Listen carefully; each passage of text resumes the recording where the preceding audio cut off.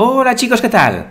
Bueno, hoy os traigo un pequeño truco para Google Analytics y es la creación de anotaciones. ¿Por qué querríamos eh, crear anotaciones dentro de Google Analytics? Bueno, imaginar que vosotros hacéis cambios en vuestra página web y luego esos cambios van a tener repercusiones en vuestras métricas. Si no lo apuntamos, lo que puede pasar es que se nos olvide el por qué ha cambiado eh, alguna de las métricas de nuestra página web.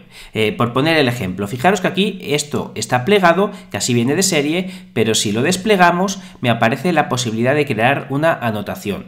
Si hago clic aquí, me pregunta qué día eh, puedo crearla, pues le digo, por ejemplo, el, día 1 y pongo que aquí eh, he quitado el sidebar de las páginas del blog, de los, por ejemplo, de los artículos del blog. Vale, y le doy a guardar y lo pliego.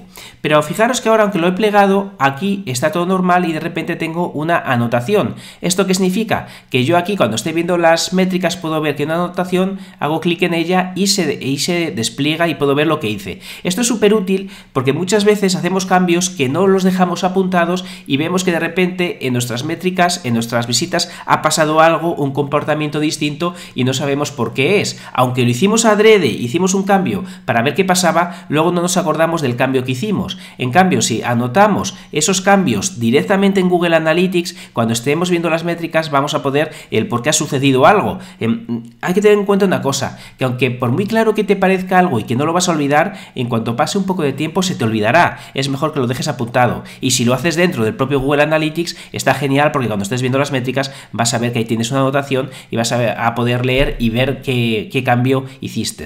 Esto está súper bien porque esta manera, cuando estéis leyendo lo que pasa, veréis si el cambio que habéis hecho era para mejor o para peor y todo dentro del propio Google Analytics. Espero que este pequeño truco sea útil. Nos vemos en el siguiente vídeo. Hasta luego.